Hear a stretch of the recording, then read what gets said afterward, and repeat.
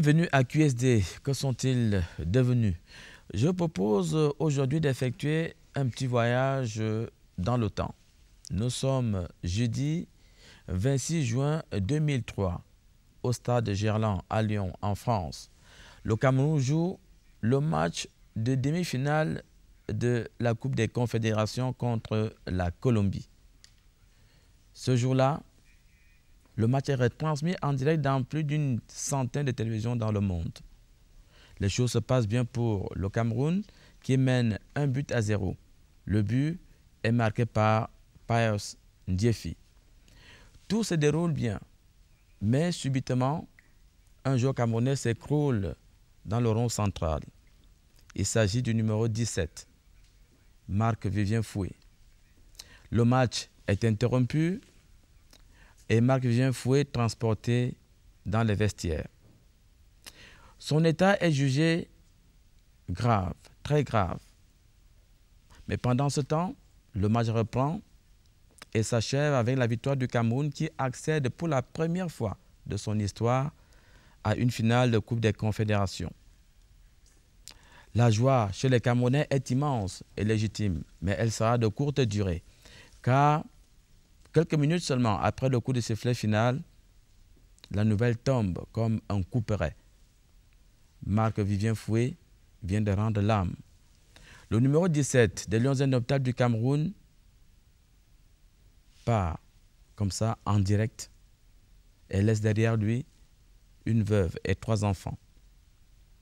Depuis ce jeudi noir du 26 juin 2003, Marie-Louise Fouet est plongée dans un silence assourdissant.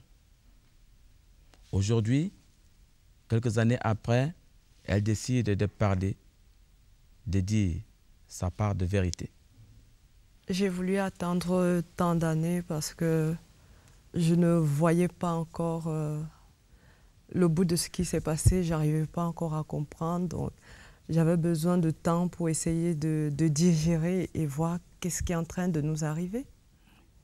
Alors aujourd'hui, qu'est-ce que vous faites? Qu'est-ce que vous êtes devenu? Vous êtes où? À Manchester, à Londres, à Lyon, au Cameroun? Je suis actuellement à Lyon. Je suis restée deux ans à Manchester. J'ai décidé de revenir sur Lyon et je viens au Cameroun de temps en temps, dès que possible. Et les enfants? Les enfants, ils vont bien, ils sont à Lyon et en ce moment précisément, ils sont au Cameroun. Il y a, il y a Scott, qui a quel âge aujourd'hui? Scott, il va avoir 12 ans le 13 août. Oui, et qu'est-ce qu'il fait? Il est en classe de 6e. Il passe pour la 5e et il se porte assez bien. Oui, et puis il y a Leslie, Leslie. Micheline, qui a 9 ans, qui a eu 9 ans le 13 mai, qui va en classe de CM. Et puis la, la, la, la toute dernière. Et puis Angela. Elle avait quel âge euh, Angela avait un mois, 20 jours exactement lors du décès de son papa. Elle a 4 ans aujourd'hui. Elle va bien? Elle va en grande section maternelle. Et à Lyon, comment les choses se passent à Lyon? C'est facile de revivre comme ça dans une ville euh, qui vous a pratiquement tourné le dos? Euh, c'est c'est pas facile, ça a été très compliqué de revenir à Lyon, que ce soit pour moi ou pour les enfants. C'était plus difficile, surtout pour Leslie, qui commençait simplement à s'exprimer sur le sujet. Par contre, pour Scott, il, il dit, il dit rien. Il se tait, il garde tout pour lui. Oui. Est-ce que vous arrivez comme ça à la maison avec les enfants de, de, de parler de leur euh, papa? Ça, on le fait énormément. Il ne nous arrive pas de passer 24 heures sans parler de, de leur papa.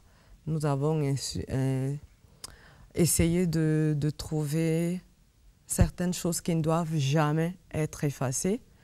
Nous avons créé un système de fêter son anniversaire, mais à l'envers. C'est-à-dire? Euh, C'est-à-dire, chaque année, il, a un an de plus. Chaque année, on a, on a recommencé à zéro. On a fêté ses quatre ans. Le 1er mai, nous avons fêté ses quatre ans à la maison. C'est chaque année, chacun qui a un thème. Cette année, c'est Leslie qui a organisé la fête, qui a fait le gâteau, qui a fait ses invitations. c'est pas de l'extérieur, c'est que les gens de la maison, mais tu es invité, on te glisse l'invitation sous la porte et tout. Et il n'y a pas des, moments de, de doute, de désespoir? Énormément, ça, ça ne peut pas manquer. Il y en a énormément, bien sûr. Mais j'essaie de tenir la tête haute et puis, heureusement, j'ai les enfants autour de moi. Et depuis cette tragédie, est-ce que vous avez déjà vu ou revu les images? Non. J'ai eu très peur. J'ai essayé une ou deux fois. Je n'ai pas pu tenir cinq ou dix minutes, mais je l'ai fait deux fois. Marie-Louise, nous allons vous proposer de, de, revoir hein, ces images, les images de, de, toute, euh, de toute cette tragédie jusqu'à l'inhumation. Euh, vous serez suffisamment forte Je vais essayer. Bon. Bon. Si vous les avez, je veux bien les voir. Ok, on va, on va les regarder.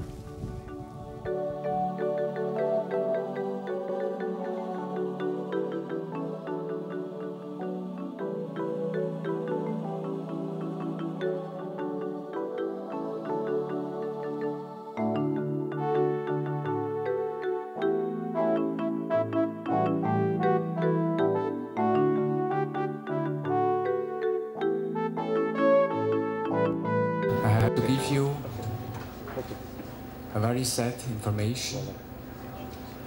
The player, Mark Vivian Foy,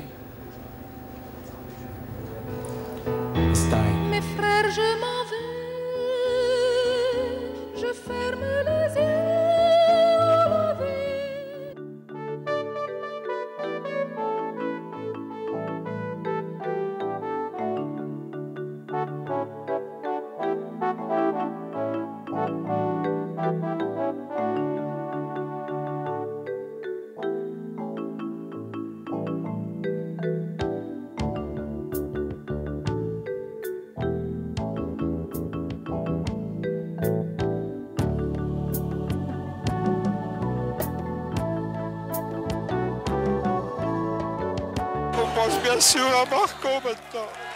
Parce que c'était pas évident pour, euh, pour nous, euh, qu'ils connaissions bien, et tous ses partenaires ou anciens coéquipiers. Donc euh, ça a été très dur aujourd'hui.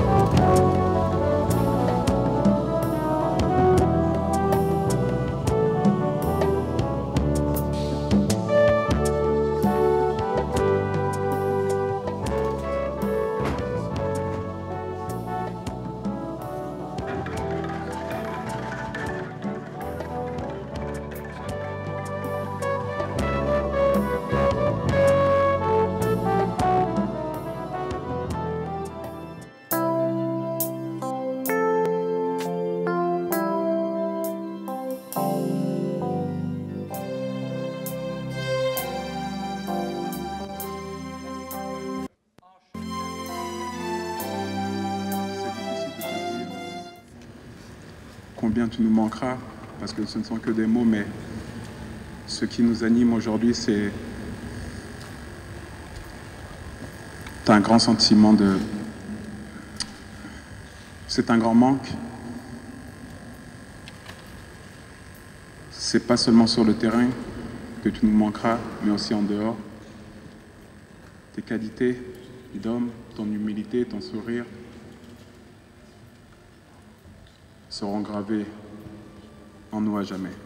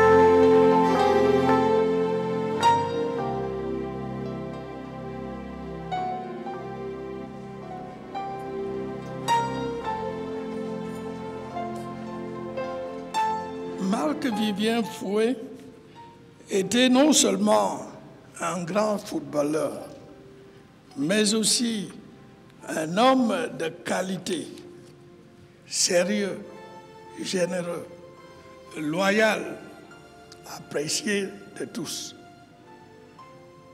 C'était également un grand patriote, élément clé de notre équipe nationale, qui a maintes fois défendu nos couleurs. On a, avec raison, comparé son sort à celui d'un soldat tombé au champ d'honneur.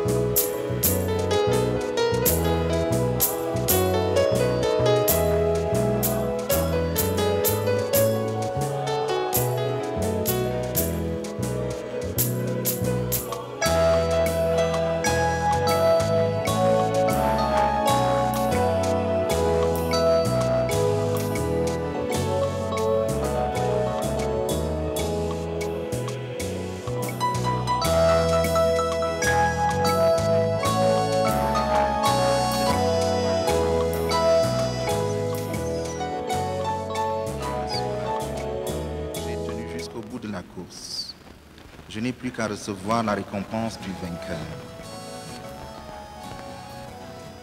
Qui n'a vu ce jeune homme se battre comme un véritable lion pendant les rencontres qu'il a disputées au cours de sa carrière?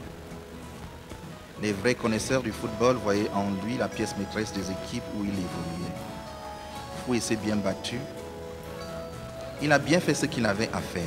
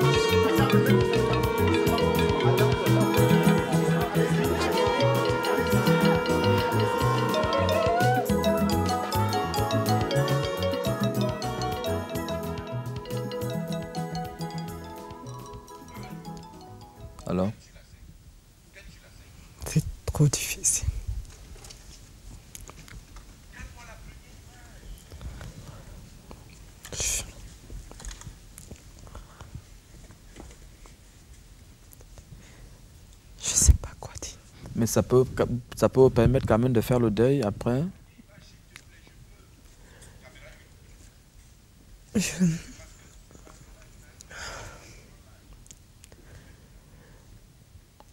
J'ai vu des, des- des images que j'imaginais pas et je refuse de voir la dernière image, je ne veux pas la voir. Mais l'hommage qui a été rendu à votre, à votre époux, comment vous le trouvez cet hommage? Je dis merci au peuple camerounais de tout ce que j'ai vu et au monde entier. Je trouve qu'ils lui ont rendu ce qu'il a pu leur donner tout au, temps de sa, au long de sa carrière, je trouve, oui. Ils étaient nombreux à être là. Ce qui me surprend, c'est que les gens ont dormi à l'aéroport, ça, je ne savais pas. Donc c'est quelqu'un qui était estimé, aimé Je trouve des- qu'il était beaucoup aimé. hein. Je trouve pour que quelqu'un prenne le temps de quitter sa maison, d'abandonner sa famille et d'aller l'attendre à l'aéroport. Il faut avoir beaucoup d'amour pour quelqu'un pour lui donner ça. Ouais. C'est réconfortant pour vous de voir ça? Oh, très réconfortant, franchement. C'est très réconfortant parce que je n'ai pas pris la grandeur de ce que c'était. Je ne savais pas. Pendant cette cérémonie, où étiez-vous? J'arrive pas à me rappeler de certaines choses. J'ai que des images qui me viennent parfois. J'ai des choses que je ne peux pas savoir. Qu'est-ce qui s'est passé, qu'est-ce qui ne s'est pas passé, j'arrive pas à savoir. Donc, je ne peux pas savoir où j'étais. Donc aujourd'hui, après avoir donc euh, regardé ces images que vous redoutiez, euh, on peut considérer qu'une étape a été franchie. Très- Oui, j'ai fait un grand pas, oui. Je finirai par voir toutes les images un jour. Merci beaucoup. Merci. c'est une partie de la thérapie que vous venez de faire sans vous en rendre compte, je crois. Oui. Et si les enfants voient ces images, euh, comment est-ce qu'ils vont réagir? Je ne peux pas le savoir. Je ne peux pas. Je ne sais pas si moi je, si moi je réagis de cette façon-là, la réaction des enfants. J'étais surprise de voir que Leslie elle était au stade et disait Cameroun, Cameroun. Je me demande bien si elle savait ce qui se passait. Je ne crois pas qu'elle se rendait compte de Et ce qui quel âge à l'époque? Leslie avait 5 ans. Marius Fouet, euh, nous allons euh, euh, franchir une autre étape, la deuxième, aussi dure, sinon plus dure même que la, première. Euh, beaucoup de choses a été, ont été dites euh, à l'occasion de cette tragédie. Aujourd'hui, on se pose encore des questions. On cherche, on voudrait comprendre qu'est-ce qui s'est réellement passé ce jeudi euh, 26 juin 2003 au stade de, de, de- de Gerland. Qu'est-ce qui a pu bien arriver? Une fois de plus, hein, je- j'en appelle à votre courage hein, pour, pour les regarder et écouter également euh, tout ce qui a été dit autour du décès de, de votre euh, époux.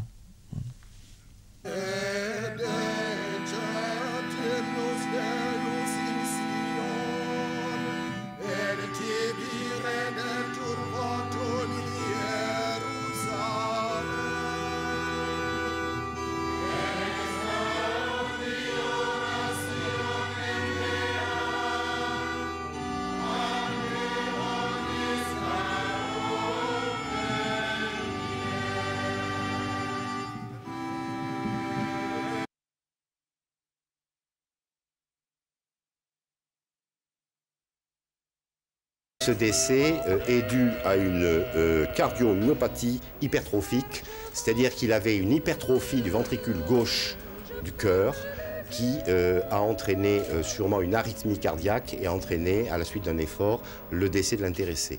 Euh, reste donc, euh, on a exclu que cette hypertrophie euh, ait eu pour, origine la prise de produits et de substances dopantes et euh, en conséquence, il apparaît qu'elle serait euh, éventuellement d'origine congénitale euh, et que euh, ce qui explique la mort subite euh, de ce garçon qui était sportif de haut niveau. Nous avons été tous au petit déjeuner et quelques heures plus, tard, nous nous sommes retrouvés déjà en tant que leader, Marco et moi, en parlant un peu du match, comment est-ce que nous allons aborder le match euh, contre la Colombie. Et il était d'ailleurs très, très motivé, très déterminé pour que nous puissions arriver en finale. Je pense que pour nous, ça, faisait partie aussi de nos ambitions et de, ce que nous, allons, nous sommes venus faire. Je pense que nous qui avons déjà un certain âge dans cette équipe, on voulait euh, écrire l'histoire du, football euh, camerounais. Donc euh, on s'est dit énormément de choses, mais dans l'esprit de- d'aborder le match. avant le match, Marco il a été quelqu'un, plus que jamais, je l'ai vu déterminé, motivé. Vous savez, c'est quelqu'un de nature qui est assez, très, qui est assez réservé. Mais ce jour, il a démontré, il a, il a affiché un autre visage, c'est-à-dire de quelqu'un qui, qui en voulait, qui parlait directement et qui gueulait même dans les vestiaires, mais dans un bon sens de, de motiver les coéquipiers.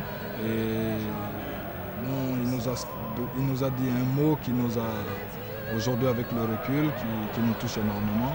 C'est-à-dire, euh, c'est ce que nous employons tous les jours euh, lors des matchs. Euh, en fait, c'est un mot pour nous pour une sorte de motivation en disant, les gars, aujourd'hui, euh, on joue vraiment à fond. S'il arrive qu'on meurt, on va, mourir. Donc, euh, bon, ça, c'est un terme que nous employons très, très souvent de, de motivation.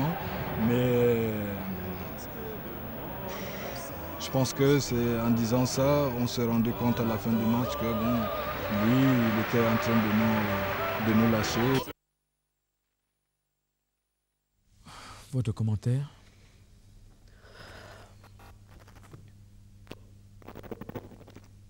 D'abord, euh, ce coup de coude.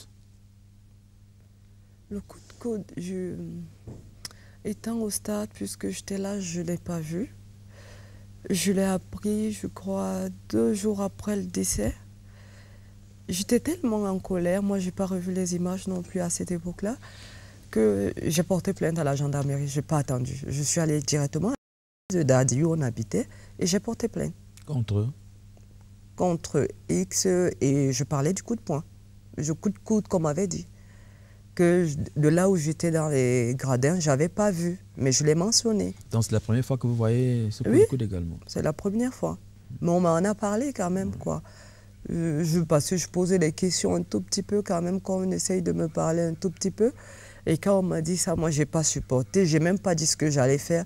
J'ai demandé qu'on m'accompagne, que j'avais envie de faire quelque chose. Et j'ai pris ma soeur avec moi. Je suis allée à la gendarmerie. Oui. Et quelle est la suite qui a été donnée à cette euh, plainte? Rien du tout. Pas d'enquête? Non, mais la plainte a été enregistrée. Je ne sais pas ce qu'ils ont fait de cette plainte. Oui. Et puis, euh, le, le médecin qui parle de mal congénit- congénital, Qu'on le dise, mais je ne peux pas le savoir. Moi, je ne suis pas médecin, je n'ai jamais regardé son cœur, donc euh, je ne sais rien, je ne sais pas. et la réaction de, du capitaine euh, Sombana qui raconte un peu hein, dernières paroles. C'est Quelqu'un de très très motivé ce jour-là, plus particulièrement? Le- C'est ce que j'ai appris en plus, que non seulement ce qu'il dit, la- il dit une phrase et il s'en va. Comme une, comme une prémonition. Je, je- je me pose la question, pourquoi ce jour-là, lui, il a prononcé cette phrase-là? Je ne sais pas. Et vous vous êtes euh, parlé quelques heures avant le match, ce jour-là? Oui, tout au long de la journée. Je l'ai eu plusieurs fois au téléphone. quoi. Oui, qu'est-ce que vous êtes dit? Plein de choses. Quoi, par exemple, concernant le match? On a parlé un peu On de le disait un peu malade, un peu souffrant, qu'il ne jouerait pas le match et tout. Bon, les gens étaient un peu perplexes. Oui, c'est vrai qu'il n'était pas bien. Il me parlait de, de la fatigue, qu'il avait mal au ventre, qu'il avait des selles qui coulaient énormément et qu'il était énormément fatigué qu'il se reposait, mais qu'il suivait bien son traitement. On en a parlé un peu, on a discuté des places de match, de parking, de, de tout ce genre de petites choses. Oui. Est-ce que lui, il voulait vraiment jouer ce match?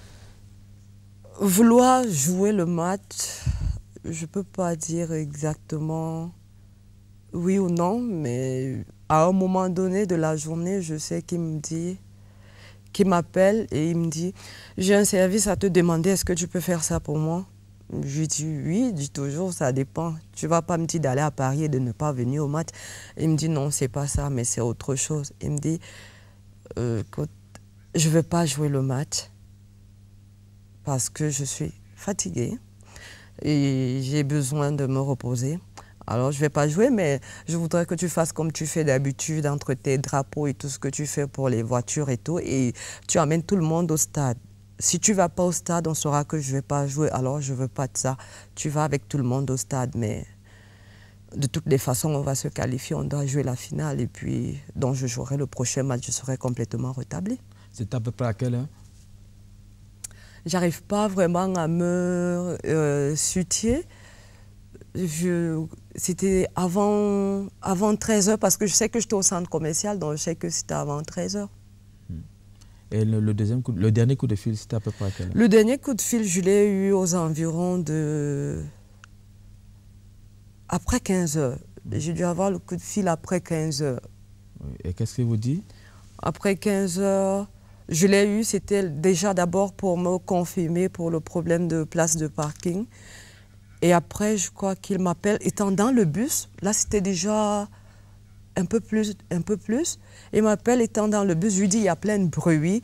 Il me dit, écoute, je veux juste te dire quelque chose, je, je vais jouer le match, mais je ne joue pas tout le match, je fais une mi-temps. Donc ne sois pas surpris, soit tu me vois la première, soit tu me vois la deuxième, et rassure tout le monde à tes côtés. Et en ce moment, je lui précise, écoute, je suis d'un côté avec Emma, selon ce que j'ai vu, et les parents sont de l'autre côté, parce que j'avais ma maman et ma belle-mère qui étaient dans le stade aussi. Alors, qu'est-ce qui a bien pu se passer entre-temps? Entre-temps, Il y je a eu sais... des pressions pour qu'il joue le match Ça, on n'en a pas parlé, on n'a pas eu le temps de discuter, donc je ne peux pas répondre à ça. Je ne sais pas ce qui s'est passé. Est-ce que les médecins ont jugé qu'il était apte à jouer? Je ne sais pas. Je crois que lorsqu'on est malade, il n'y a qu'un médecin qui peut décider si on peut jouer ou pas. Est-ce que le joueur lui-même peut décider de jouer étant fatigué? Je ne sais pas. Je n'ai pas de réponse à cette question. Oui. Alors aujourd'hui, avec vraiment un peu plus de recul, plusieurs années après, est-ce que vous pouvez à peu près euh, répondre à cette question Qu'est-ce qui s'est passé ce jour-là? Qu'est-ce qui a pu se passer? Je ne sais pas exactement ce qui s'est passé et j'aimerais bien savoir ce qui s'est passé. C'est c'est quelque chose que je ne peux pas dormir en paix. Je dormirai jamais une nuit entière tant que je ne sais pas ce qui s'est passé avec mon mari. Est-ce que les images que vous venez de voir, de voir vous permettent quand même d'avoir quelques indices? Non, pas du tout. Je ne peux pas, je ne suis pas spécialiste, je ne peux pas savoir. Je ne peux pas. Apparemment, il y aurait une enquête euh, ouverte aujourd'hui pour essayer de, d'établir peut-être la vérité Une enquête, je dirais non, mais il y a une expertise qui est en train de se passer en ce moment, et qui date de... Ça fait presque deux ans qu'on est sur l'expertise.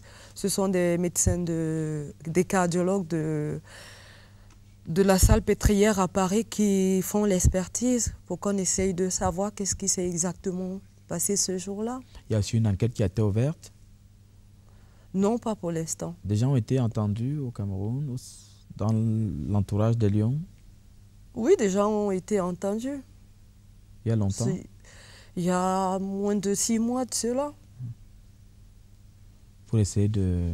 Pour essayer d'éclaircir qu'est-ce qui s'est exactement passé, mmh. ceux, qui étaient, ceux qui étaient chargés de, s'occuper de lui. Mmh. Mmh. Voilà. Marie-Louise Fouet, bon, je vais vous montrer quelques images. Vous devez certainement les connaître. Vous allez reconnaître. Euh, hein. On y va, vous pouvez? Oui, ça ira.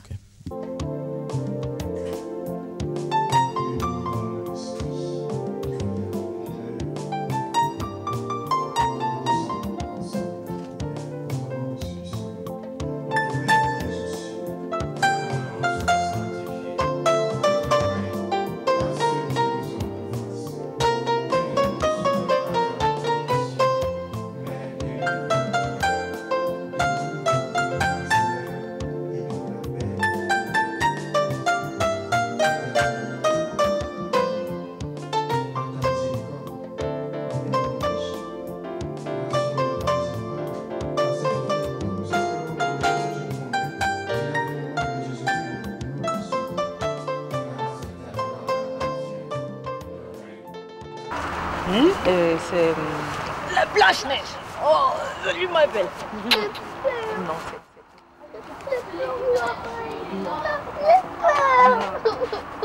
C'est Blanche-Neige. Attends, regarde bien, regarde. T'as pas tout suivi. Elle étudie pas, étudie pas, regarde. Regarde. Bah là, on est, euh, on est dans ma salle de ciné euh, privée, en fait. Donc euh, bon, c'est là que je passe le temps avec mes enfants quand ils s'ennuient. En général, je ne vais pas au cinéma comme je suis très casanier. Donc je passe mon temps là. Et comme je suis très passionné de cinéma, je, fais. En ce moment, j'ai une collection de, DVD qui va vers les, 2000 DVD. Et quel genre de film vous aimez? Bah, en fait, je, suis un peu tout ce qui est action, parodie, mélodie, euh, romantique. Euh, je, suis un peu tout, même les dessins animés, parfois il m'arrive d'en suivre avec mes enfants, qui sont, hein, comme en ce moment, qui sont en train de suivre un, dessin animé. Et puis c'est très reposant après les matchs. Maman, je peux plonger Non, Scott. Si Alors, c'est où? À Dardy. Votre domaine, concession? Euh, C'est là où on habitait en ce moment-là, en 2003. Depuis 2000, on habitait à Dardy. Oui. Alors, Marc Vivien Fouet était un homme riche. Il a laissé beaucoup de biens. Parce que quand on voit tout ça, on se dit. Euh, Euh, il s'est dit qu'il a laissé beaucoup de biens en Europe et au Cameroun. Marie Fouet n'était pas un homme riche. C'était un homme qui avait un peu de moyens pour essayer de s'occuper de ceux qui lui sont chers. Mais riche, je ne dirais pas. Et dit qu'il a laissé beaucoup de choses, je ne dirais pas. En Europe, par exemple, on n'a jamais une maison, on a toujours loué. Donc, euh, du fait d'aller de gauche à droite, de déménager tout le temps, on n'a jamais pris une décision d'avoir un pied à terre. C'est vrai qu'à Dadi, on a voulu avoir cette maison, mais on a eu des, problèmes dessus. Et puis, finalement... Le problème, c'est qu'il y a un projet d'autoroute. On habitait, on habitait juste derrière la, la, la A6 et on était entre la A6 et la RN6. C'est-à-dire? C'est-à-dire l'autoroute A6 qui, quitte, qui traverse, euh, qui quitte de Paris jusqu'au sud de la France et la RN6 qui quitte Lyon pour Rouen, Clermont-Ferrand. Donc euh, nous étions entre les deux. Et aujourd'hui, ce que la ville de Lyon veut faire, c'est rejoindre l'autoroute A6 à la nationale RN6. Alors, les maisons qui se retrouvent à ce niveau-là de la, de la nationale 6 vont être tous détruites. Donc, du coup, on s'est dit pourquoi est-ce qu'on s'investit dans une maison où on ne va pas rester longtemps. Donc, on n'a pas poursuivi euh, ce qu'on voulait faire. Oui. Bon, alors, à propos des biens, vous avez laissé des comptes en banque, beaucoup de comptes, beaucoup d'argent En Suisse, au Luxembourg Non. Aux îles Caïmans Non. Non, non, non, pas du tout. Comme toute euh, personne normale, ça dépend de, chaque personne. On a eu un, compte bancaire, des petits épargnes pour les enfants en France. Bon, mais au niveau du, Cameroun, par exemple, c'est vrai qu'il a essayé de bâtir certaines... Donc, en France, il n'a pas de biens immobiliers? Non, non, non. En Angleterre non plus? Non. En Europe, en Amérique ou, que ce soit dans le monde entier, et surtout au Cameroun, Maguvier n'a pas une seule brique, non, de terre qu'il a bâti quelque part. Et au, Cameroun? Au Cameroun, oui, il en a, il a fait des acquisitions de certains biens immobiliers. Où? Euh, L'immeuble de Lixono, par exemple, qui est au rond-point de Lixono, il a... C'est au nom de qui? C'est au nom de M. Fouamougou Martin. Votre beau-père Qui est mon beau-père, exactement. Et. Où encore? En Como, où, on était en plein chantier lors du décès.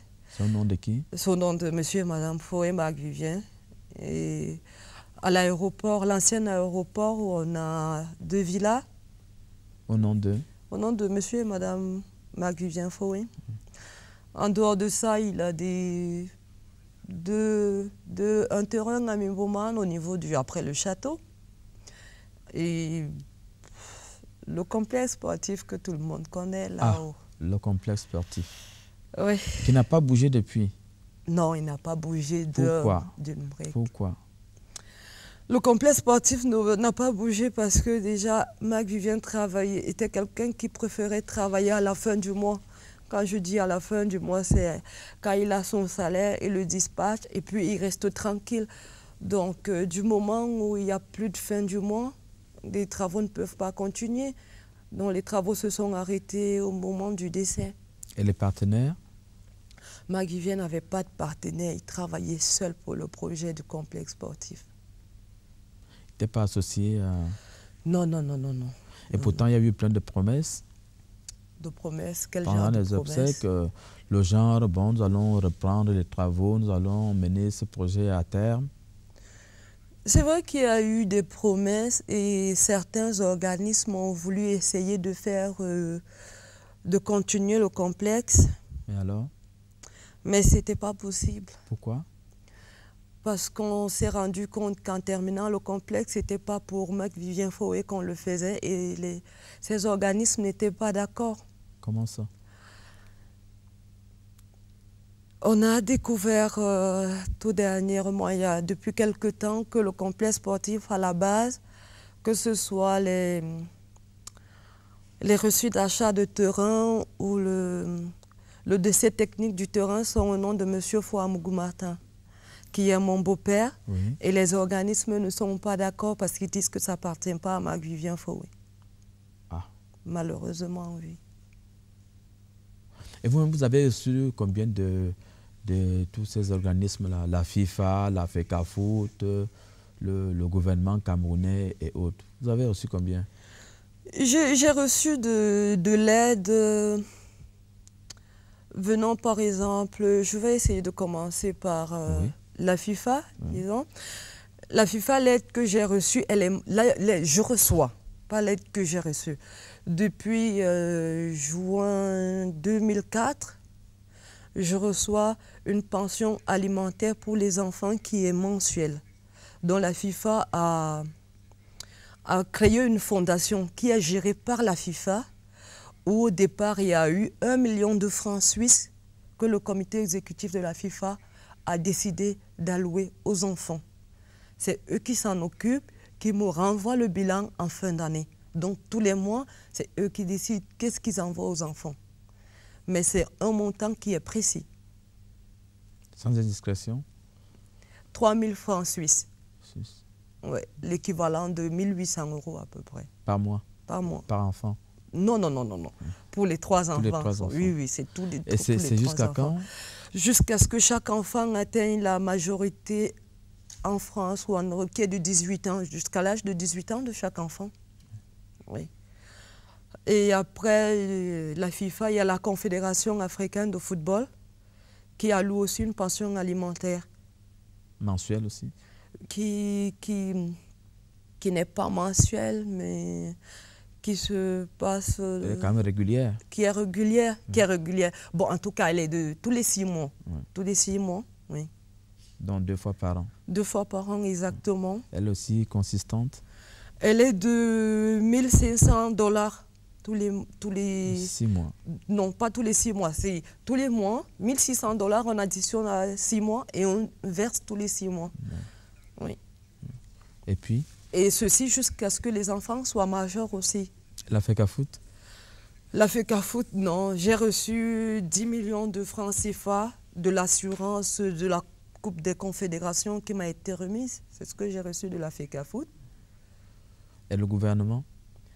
Le gouvernement, je sais que le gouvernement, le chef de l'État, ils se sont occupés de tous les obsèques. Moi, particulièrement, j'ai reçu 15 millions de francs CFA que j'ai déchargés pour me préparer pour les obsèques. Et après les obsèques, j'ai aussi reçu, pendant le match du 11 novembre, une somme de 7500 euros, si je ne me trompe pas, mais je sais que je l'ai déchargé venant du, du ministre des Sports que le chef de l'État avait envoyé aux enfants. En dehors de ça, j'ai aussi reçu de la Ligue professionnelle de football anglaise, de la fédération, non, la fédération euh, anglaise de football, un montant de 380 livres à peu près. Oui. Hmm. Et Manchester? Manchester m'a aidé à payer le loyer jusqu'au mois de décembre 2003. Hmm. C'est tout. Et qui d'autre vous a aidé? J'ai reçu de l'Union nationale des footballeurs professionnels une somme de 28 000 euros. Et j'ai aussi reçu une somme de 200 000 euros de, du match du 11 novembre. Ah, organisé par Basile Boli? Oui, le match organisé par Basile Boli. Si un jour il voit cette émission, je lui fais un coucou et lui dis un grand merci. Et puis c'est tout je cherche, je cherche, je cherche, mais à ma connaissance, sauf si je me trompe ou j'oublie. Si j'oublie, je ne vous dirai pas tout au coup. Ça veut dire que vous êtes, euh, vous êtes une femme bien, non? Une femme bien? Oui, avec tout ça. Non, je ne crois pas. Non, non, loin, loin, de, loin de là parce que je n'ai pas pris cet argent et gardé en me disant que avec cet argent, je vais utiliser tous les jours. Ma première préoccupation a été de faire la tombe de mon mari. C'était la première chose que j'ai dû faire. Est-ce que vous, vous, avez parlé de tout ça à vos, à vos beaux-parents, à votre beau-père notamment, de tout ce que vous avez reçu? Non, je n'ai pas parlé de ça parce qu'à un moment donné, il y a eu trop de tensions. Et du moment où ça venait trop des finances, et j'ai découvert des choses que franchement, je n'aimerais pas en parler. certaines choses restent vraiment en famille. En les découvrant, je n'ai pas jugé nécessaire de le faire. Je me suis trouvée suffisamment majeure pour prendre des décisions de faire certaines choses sans avis de quiconque que ce soit. Euh, Marius Fouet, est-ce que quelle influence les parents de Marc Vivien Fouet avaient, avaient sur, sur, euh, sur, lui? Je sais que en 2001, euh, j'étais de passage à Lyon et je lui ai posé cette question chez vous, à Dardy. Je vous propose de, suivre un peu sa réponse. D'accord. Bah, influence, non. Je, je pense que j'ai toujours été très obéissant dans, dans ce sens-là il n'y a pas une quelconque influence en tant que Bon, voilà. Pas sage, mais très obéissant. Bon, il n'y a, a jamais eu d'enfant sage. J'ai aussi fait des bêtises comme, comme tous les jeunes, mais bon, je, je, je prends toujours euh, en considération ce que me disent mes parents, en général mes aînés, parce que je pense qu'ils ont plus d'expérience à la vie de tous les jours que moi, donc je prends toujours le temps d'écouter tout le monde en particulier mon père et ma mère, sans oublier euh, mes oncles et, tout ce que j'estime pouvoir euh, être un parent pour moi. Voilà. Quelle est votre réaction? Je crois que c'est tout à fait normal parce que si on doit obéir à ses parents, on doit faire confiance à ses parents. Mhm. Jusqu'où? Jusqu'au point de pouvoir leur confier notre propre vie lorsqu'on est grand. Oui.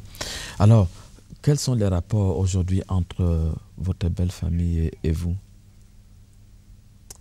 À ce moment, les rapports sont tellement tendus que j'ai dû prendre du recul. C'est-à-dire ne plus les voir? J'ai, pendant euh, un an et demi, j'ai pas vu mes beaux-parents parce que j'ai décidé de ne plus revenir au Cameroun. J'ai fait un an et demi sans revenir au Cameroun. Et c'est parce que j'avais besoin de me faire une santé. Après le décès de mon mari, je ne sais pas, j'avais quelque chose qui m'amenait au Cameroun. Il m'arrivait presque de me lever, de dire il faut que je lui parle, il faut que je lui parle, il faut que je me retrouve sur sa tombe. Et je venais. Mais au fur et à mesure que le temps passait, je me rencontrais trop de tracasseries. J'ai été tellement malade que j'ai dit non, mais je suis en train de, de me tromper de chemin. Je dois plus m'occuper de mes enfants que d'autres choses. Alors j'ai décidé de, d'arrêter avec le Cameroun et de me concentrer sur les enfants. Pour que je me concentre sur les enfants, il fallait que j'arrête toute communication de, avec ma belle famille, avec précisément, plus précisément mes beaux-parents. C'était important pour moi si je voulais continuer à être debout. C'était une bonne décision? Pour moi, c'était une bonne décision parce que franchement, j'avais envie d'être... Je, je veux vivre pour mes enfants. Et pour que je vive, il faut que je sois en bonne santé. Si je ne suis pas en bonne santé, je ne peux pas m'occuper de mes enfants. Mhm. Et les enfants? Les enfants, j'ai dû euh, leur dire à un moment donné qu'il fallait que j'arrête les communications avec leurs grands-parents. Il fallait que je leur dise ça, sans entrer dans le vif du sujet. Et comment elles ont réagi? Moi, ils m'ont dit, maman, tu sais ce que tu fais. C'est vrai, ça va, ils, ils nous manquent, ils vont nous manquer beaucoup. Mais si c'est pour t'aider toi, pour que tu sois bien, on va rester quand tu iras mieux, ça continuera, on va recommencer 3-0. Je leur ai dit oui, quand ça ira mieux, tout se passera bien, il n'y a pas de problème. Vous êtes au tribunal? Il paraît. Hum. Oui, c'est vrai, c'est vrai. Je suis au tribunal depuis le mois d'avril. Mais soyons sûrs, j'ai amené personne au tribunal. Je me suis retrouvée un matin avec un fax qui me demandait d'être au tribunal le 5 avril 2007 avec mes beaux-parents. Mes beaux-parents, c'est mes beaux-parents qui m'ont amené au tribunal, oui. Pour, pourquoi? Pour faire opposition au jugement d'hérédité que j'ai fait. Vous avez fait le jugement d'hérédité Oui, j'ai dû faire un jugement d'hérédité. Où? Au tribunal de grande instance de Yaoundé. Sans les beaux-parents Oui. Sans la famille? Oui. C'était normal? Oui, pour moi, c'était normal parce qu'au bout de trois ans de demandes, de supplications, je suis arrivée au stade où je ne pouvais pas. Mon beau-père m'a dit que ce n'était pas nécessaire, notre famille n'avait pas besoin de jugement d'hérédité. J'étais tout à fait d'accord avec lui jusqu'à ce que je revienne à Lyon et que le tribunal de grande instance de l'enfance de Lyon m'envoie un courrier concernant mes enfants. J'ai eu un premier courrier et je n'ai pas réagi. J'ai eu une deuxième en lettre recommandée, et bien sûr parce que je ne crois pas qu'il s'amusait. J'ai appelé mon avocat et je lui ai demandé qu'est-ce que je dois faire? Il m'a dit, écoute, je crois que l'inévitable, tu ne peux pas, en Angleterre, ce n'était pas la même constitution. En France, tu as besoin de rendre compte. On rend compte toujours pour les enfants. Alors tu as besoin de le faire. Il faut que tu le fasses. Je te conseillerais de, de prendre l'avocat au Cameroun et qui s'en occupe parce que je sais que tu vas toujours être heurté au même problème. Alors fais-le, il faut que l'avocat saisisse le tribunal de grande instance. Et c'est donc comme ça que j'ai dû faire un jugement d'hérédité. Et comment ils ont pris ça, les beaux-parents? J'ai, lors de mon passage au Cameroun au mois de mars, par coïncidence, j'ai eu le, je, l'avocat qui m'a convoqué, qui m'a dit, écoute, heureusement que tu n'es pas rentré hier, j'ai un document à décharger ici, j'aimerais que tu le décharges. Je lui ai dit, non, mais je ne peux pas parce que j'ai quelque chose à faire, donc euh, je ne peux pas tu le décharges. Elle me dit, je le décharge, je ne voulais pas te dire au téléphone, mais je, te, je préfère que tu viennes, donc je suis venue. Elle m'a dit, c'est sur le jugement d'hérédité. J'ai lu. Et je qui vous donne droit à quoi? Qui ne donne droit à rien du tout, qui désigne simplement que les enfants sont les héritiers de Marie Fouet, que ces trois enfants sont ses héritiers, c'est tout. Et donc, euh, j'ai pris le document et je l'ai amené chez mes beaux-parents. Je leur ai remis le document. La réaction, elle reste personnelle.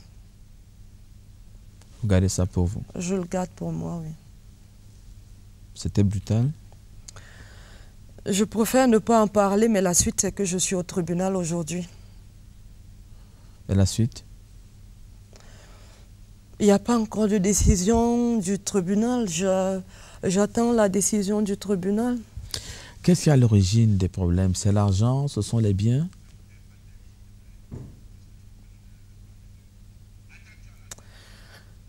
Le problème, c'est ce que Marc Vivien a laissé euh, comme euh, bien, si on peut l'appeler comme ça, parce que je ne crois pas qu'il ait fait autant.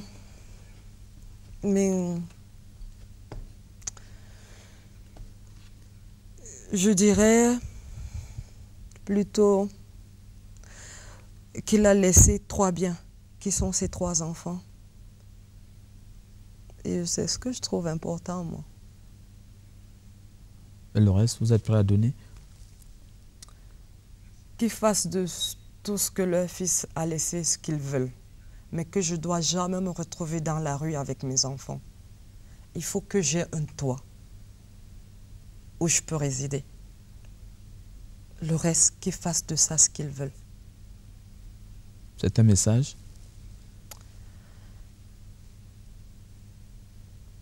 Oui.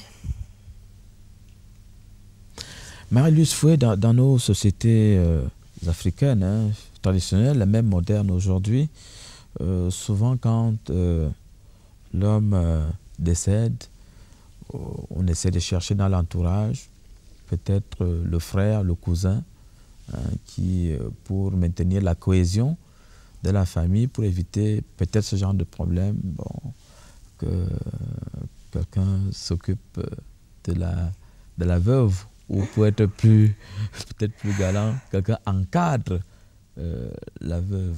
Mm. Et beaucoup, beaucoup croyaient que ça allait se passer comme ça. Et surtout que euh, nous avons, euh, sans être des paparazzis, mais nous avons quand même pu voler quelques images. Hein. Je propose d'aller regarder. D'accord.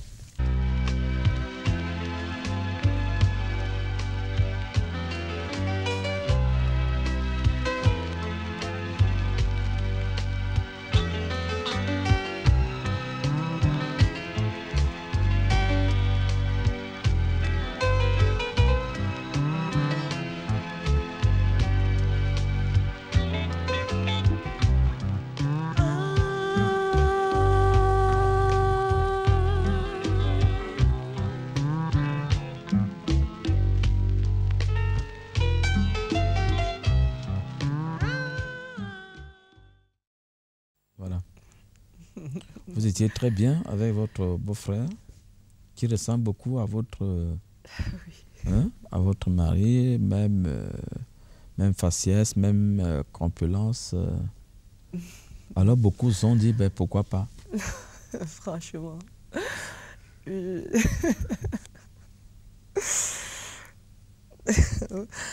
non, écoutez, Emmanuel, c'est mon beau-frère. Emmanuel et moi, on s'est toujours très bien entendus. Vous savez, j'ai pris Emma, Emmanuel, je l'ai après quand nous étions à Lens. Donc, euh, je ne peux pas dire que je l'ai élevé, mais je l'ai élevé d'une façon ou d'une autre. Je n'ai pas essayé de le considérer comme un petit frère. Il m'arrivait parfois d'être un peu euh, je pour être comme une maman parce que je sais que lorsqu'on va en mariage en Afrique, on te confie un enfant. C'est par là qu'on te regarde, c'est ton premier fils, c'est lui qu'on considère comme ton premier fils. Donc Emmanuel, je le considère comme mon premier fils. Mais quand on voit ces images? On, a une, on avait une très bonne complicité, hein. c'est pour ça que les, les, images sont trop trompeurs, elles sont les images Là, c'était à, à, son tour de m'encadrer comme je l'ai toujours encadré. C'est tout simplement ça, c'est tout.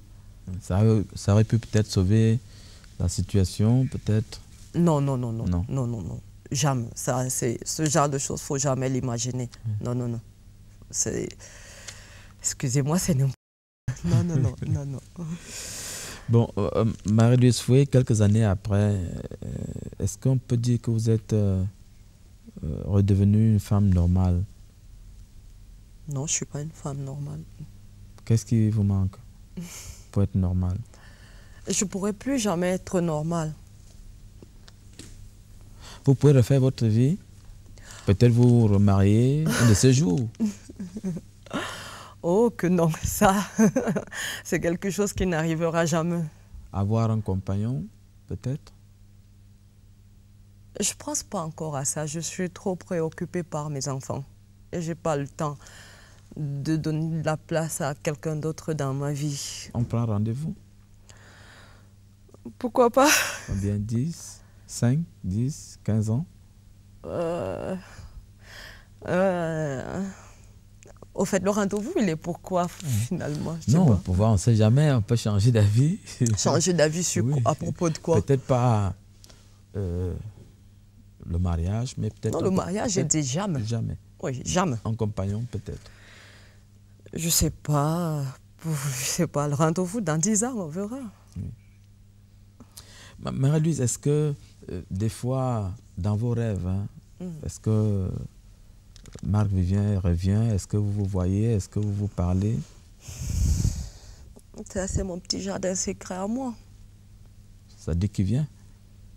Je n'ai pas dit ça. J'ai juste dit c'est mon petit jardin secret. Mais vous le sentez autour de vous? Ça, vous me poussez à dire quelque chose que je n'ai pas envie de dire. Mais il est quand même là. Il vous soutient, il vous encourage, il vous conseille.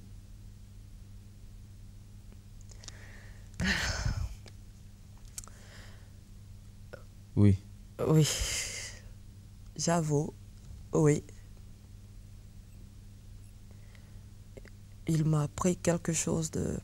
un mot qu'il disait toujours. Et, un jour que j'étais très en colère, franchement, très en colère, quand je décidais de prendre du recul avec ses parents, j'ai commencé à entendre le temps, le temps, le temps. Je me suis retournée, je j'ai dit le temps. Je ressens, j'ai le temps. J'ai éclaté de rire. Franchement, j'ai éclaté de rire. Et j'ai dit, je crois qu'il est temps qu'on essaye d'avoir une discussion comme on n'a pas eu depuis quelque temps. Il disait toujours, à chaque fois que quelque chose n'allait pas, il disait, le temps, le temps, je laisse le temps. Il faut laisser le temps au temps. Alors j'ai décidé de laisser le temps au temps. Sans limite.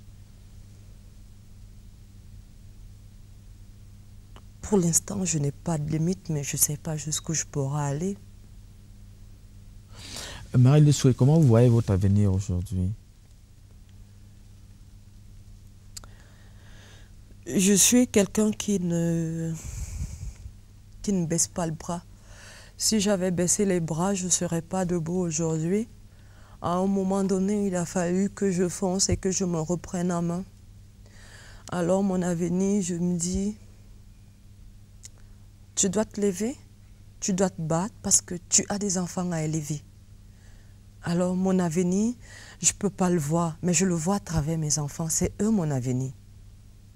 Vous avez des projets? Oui, j'ai quelques projets comme Oui. toute tout être personne. humain, oui. Oui, j'ai des petits projets. Immédiat? Euh, non, pas l'immédiat. Lointain? Lesquels? Oui, un peu lointain. Lesquels, par exemple? Non, mes projets sont encore trop secrets, je n'en parlerai pas pour l'instant. Oui. Marie Souhait, euh, de tout ce que vous avez vu hein, comme image, euh, qu'est-ce que vous gardez comme souvenir? Mon, mon meilleur souvenir, c'est le peuple camerounais. Oui. En dehors du monde entier. Mais eux, ce qu'ils ont su redonner à leur fils au moment où il est parti, c'est le meilleur souvenir que j'ai. Et votre plus grande déception?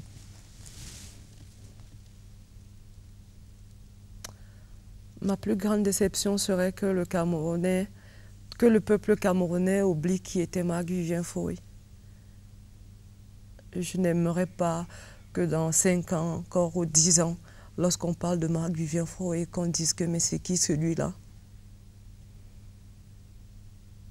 Ça sera ma plus grande tristesse. Vous savez que le temps est souvent cruel. Je sais que le temps est cruel et que, comme on lui dit, on oublie vite. Alors je prie pour qu'on ne l'oublie pas. Oui, Ah, vous priez oui, beaucoup. beaucoup. Et la première chose, c'est qu'on ne doit jamais l'oublier. Ma, ma prière principale, c'est ça.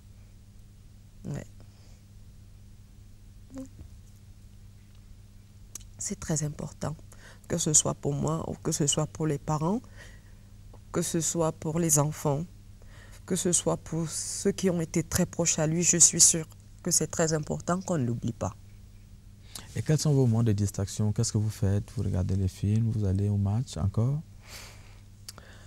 Je regarde euh, les films parce que c'est un, petit lot de consolation pour moi. À chaque fois que je regarde un film, je pense à lui. J'ai jamais aimé le cinéma, mais c'est lui qui m'a amené à, le faire. Je vais pas au match. Je vais, je suis allée au match deux fois ou trois fois. Une fois à Manchester City parce que Scott avait besoin ce jour-là d'être au stade. Scott, c'est votre premier C'est mon fils. premier fils, c'est mon fils, oui. Il avait besoin d'être au stade. Et une deuxième fois, il y a quelques jours, au jubilé de Sonny Anderson pour- à Lyon. Les seuls matchs que j'ai pu vraiment pu me déplacer lorsqu'on m'a invité, c'est pour suivre l'équipe nationale du Cameroun. Et quand vous regardez les Lions jouer, C'est une sorte de thérapie pour moi de les voir jouer. Le numéro 17,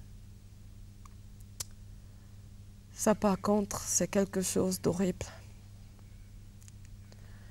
je vous, je vous dis horrible parce que déjà la première fois que le 17 a joué, c'était Samuel Eto'o qui voulait rendre hommage à Marc Vivien, qui m'a appelé et qui m'a dit Je veux que tu viennes au Cameroun, je veux que tu viennes au stade. Je suis venue, je lui ai dit Écoute, fils, je ne peux pas aller au stade.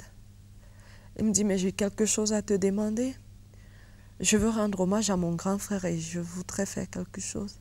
J'ai une surprise pour toi. Il a apporté le 17. Il me l'a donné, il me dit Demain, je vais jouer avec.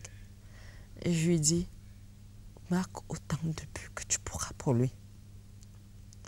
Et Dieu merci, ce jour-là, le Cameroun en a marqué énormément. Je ne suis pas allée au stade. Je n'ai même pas voulu regarder à la. J'ai suivi à la radio. La deuxième fois qu'on a regardé un numéro 17 jouer, c'était cette année. On a montré le Cameroun jouer. C'était cette année? Oui, je crois cette année, si je ne me trompe pas, l'année dernière ou cette année. J'ai une courte mémoire. Tout ce que je sais, c'est que c'est Idrissou qui est entré avec le 17. C'était presque un scandale pour mes enfants. Hein, pour eux, c'était la, euh, c'était, c'était énorme. Pourquoi? Parce que Scott, euh, Scott rêve d'être le prochain numéro 17 du Cameroun. C'est son plus grand rêve. Et Leslie l'a dit. Franchement, est-ce qu'il a le droit de porter le numéro de mon père? Leslie, c'est la... La deuxième, c'est ma première fille qui a 9 ans. Mhm. Elle a piqué une crise, elle a dit, euh, je veux plus voir, je veux plus voir, je veux plus voir ça. Je m'en vais, de toutes les façons, je vais rester dans ma chambre parce que ce 17, il est à mon papa, il est à mon papa, il restera pour mon papa. elle n'a pas vu la fin du match. Pourtant, c'est un moment très privilégié chez nous de voir le match du Cameroun. Quelques regrets alors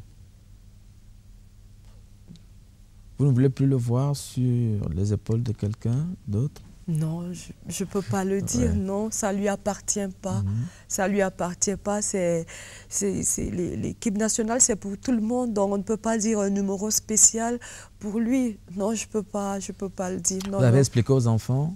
Ça, je leur ai expliqué qu'il y a un numéro de tel à tel nom et qu'il y a des obligations, surtout que je sais que le Cameroun, la fédération a fait une demande et qui n'a pas été acceptée auprès de la FIFA. Donc, euh, ils ont fait tout ce qu'ils pouvaient pour lui rendre hommage et enlever ceux 17 qui n'ont pas pu.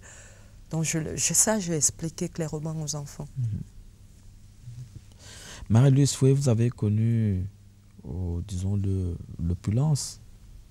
Vous avez bien vécu dans la, la richesse. Aujourd'hui, euh, vous êtes, euh, je peux dire, retombé plus bas. C'est facile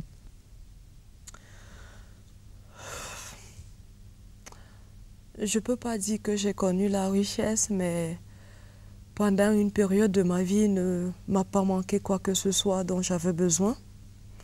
Je suis quittée d'une famille pauvre. Je me suis mariée et Dieu a fait en sorte que mon mari puisse avoir un peu de moyens. Et aujourd'hui que je n'ai plus ces moyens-là, je suis redevenue ce que j'étais avant d'une façon plus ou, plus ou moins. Ça dit la case départ? Je suis revenue, pas tout à, fait? Pas tout à fait à la case départ, pas tout à fait, mais pas loin de là. Et je vais vous, je vais vous parler de quelque chose. J'ai la femme d'un joueur français qui m'a dit,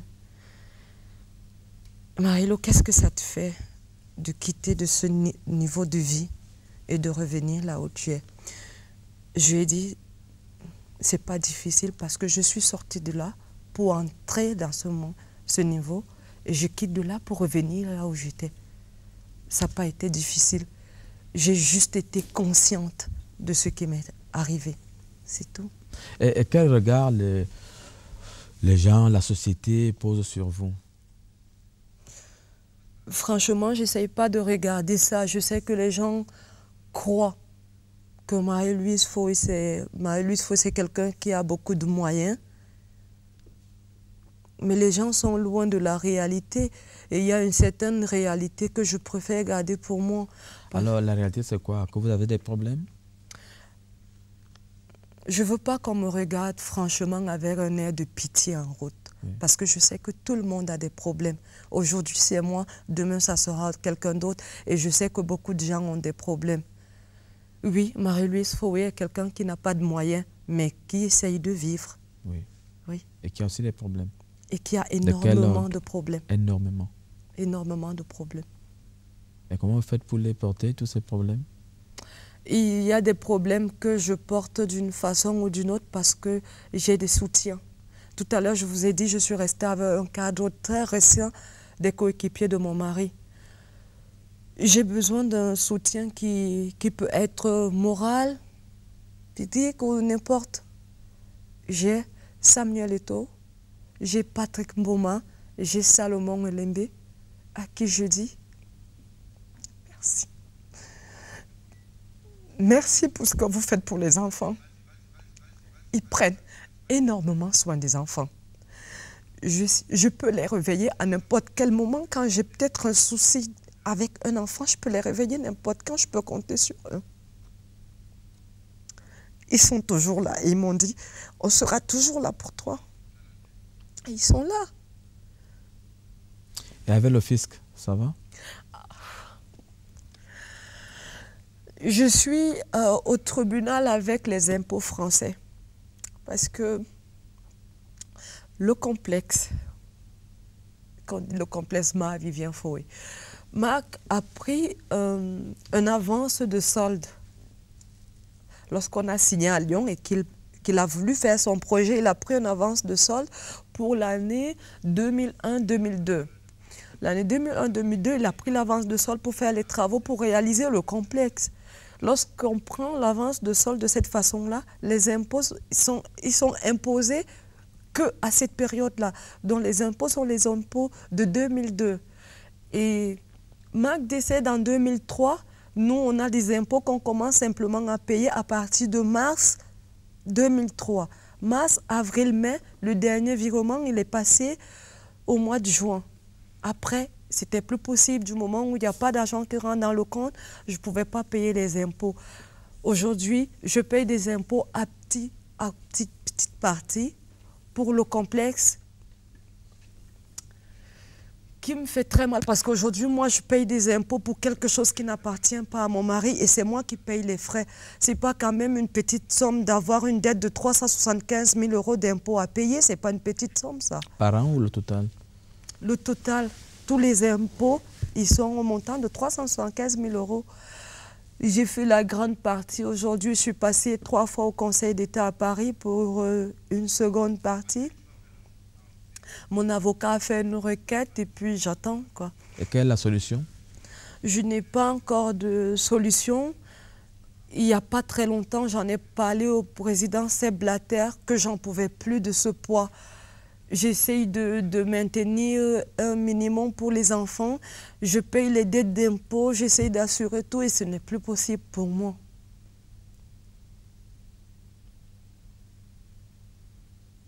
C'est ce qui me fait le plus mal. Si je payais ces impôts pour qu'on puisse avoir une solution pour le complexe, que le complexe appartienne à Marc Vivien, que ces enfants puissent peut-être un jour continuer ce que leur père a commencé parce que ça aurait pu les diriger aussi dans leur étude, d'essayer de dire je voudrais continuer ce que mon père a laissé. Malheureusement, ce n'est pas le cas. Aujourd'hui, je considère le complexe simplement comme la tombe de mon mari. Quand j'y vais, je prends soin de sa tombe. Au moins, c'est l'œuvre que j'ai faite de mes propres mains, même si c'est... C'est trop difficile d'en parler. Alors, un dernier message pour les beaux-parents, peut-être? Message d'espoir, de réconciliation, de détente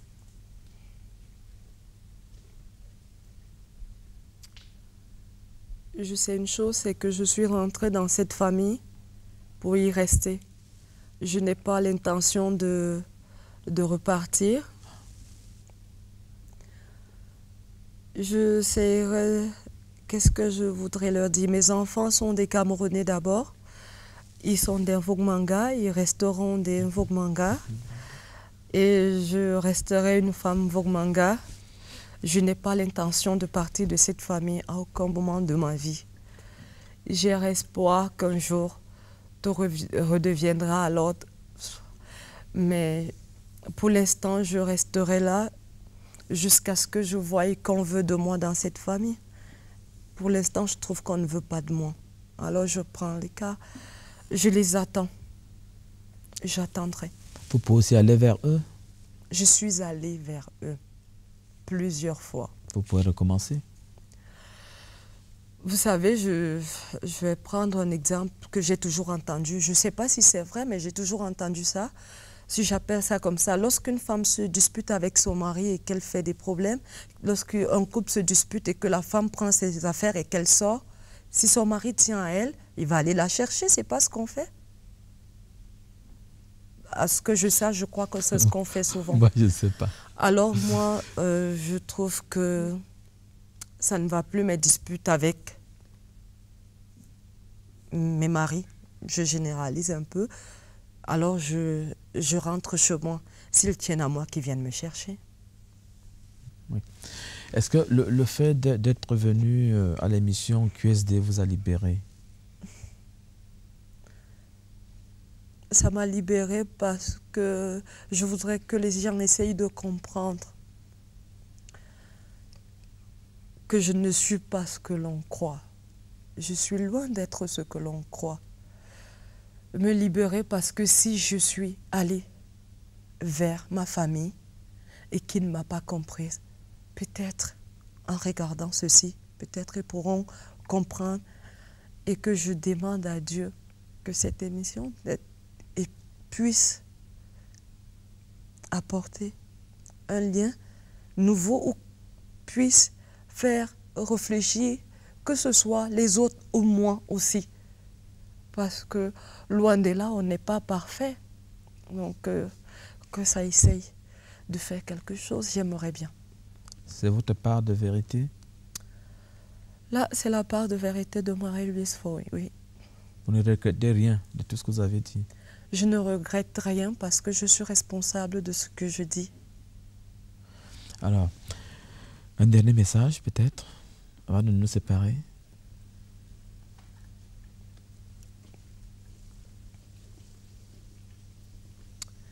Je dis merci. Merci au peuple camerounais. Merci. Un merci particulier au couple présidentiel, à tous ceux qui ont participé de près ou de loin à rendre hommage à mon mari de n'importe quelle façon que ce soit. Je dis merci à tout le monde. Voilà. Merci Marie-Luce Fouet pour euh, vous être, euh, je peux dire, euh, confessée. C'était une confession? À peu près.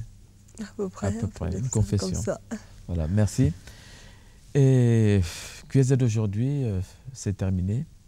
Je vous donne rendez-vous dans les tout prochains jours.